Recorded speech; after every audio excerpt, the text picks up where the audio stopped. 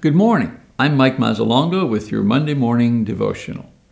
Sometimes when we listen to the news and they talk about the number of people there are in the world and the magnitude of the problems, we feel rather insignificant. It seems that corporations and governments are getting bigger and more powerful, and we, the solitary citizens, are becoming weaker and less influential all the time. There was a small article I picked up that reminded me of the importance of one person, the difference that one person can make. The article was entitled, How Important is One Vote? And it, it, showed that in the political process, one vote, one person can make all the difference in the world. When it comes to one person and one vote, did you know that in 1645, one vote gave Oliver Cromwell control over England? In 1649, one vote caused Charles I to be executed. In 1776, one vote gave America the English language instead of German. In 1845, one vote brought Texas into the Union. In 1868, one vote saved President Andrew Johnson from being removed from office. In 1875, one vote changed France from a monarchy to a republic. In 1876, one vote gave Rutherford Hayes the presidency of the United States. In 1923, one vote gave Adolf Hitler the leadership of the Nazi Party. In 1941, one vote saved the uh, selective service process here in the United States just weeks before Pearl Harbor was attacked. One single vote, one single voice makes a difference that can change history. Look at the people in the Bible who had only one vote to offer, and yet their voice, their influence affects us even today. Adam's vote brought death into the world. Noah's vote saved the human race.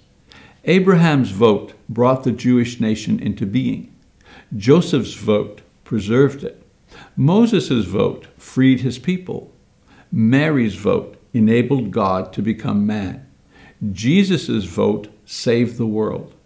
And Peter and Paul's vote brought salvation to every person, including you and me. We tend to believe that groups change the world, but throughout history, it has always been individuals who make the difference. Individuals who, at some critical point in their lives, cast a deciding vote on what they would do or let others do, what they would say or allow to be said what they would themselves attempt or support an attempt by someone else. No matter who or where, it usually comes down to a deciding vote, and each of us has a deciding vote. For this reason, we need to remember the following. First, your vote is important. Politically, at work, at school, your opinion or vote counts, because if you don't vote, someone else will. Even at home, you may cast the vote that influences your entire family's direction. Number two, your vote is the way that you influence your surroundings for Christ. Jesus said that we are the light and salt of the world, and our one vote equals one point of light, one grain of salt, which along with the others gives a Christian flavor to our world. And number three, your vote for or against Jesus will determine your eternal life. Jesus sets forth the offer very simply in Mark 16, verse 16, when he said, Those who believe and are baptized will be saved. Those who disbelieve will be lost. If you've not already done so, you have an opportunity to cast a deciding vote for your eternal future. I pray that you will obey Jesus' command to believe and be baptized. Well, that's it for today. I pray that you have a blessed week. Discussion questions. Number one, do you vote in elections? Why yes or no? Number two, share a time in your life when you made a difference in a situation or another person's life.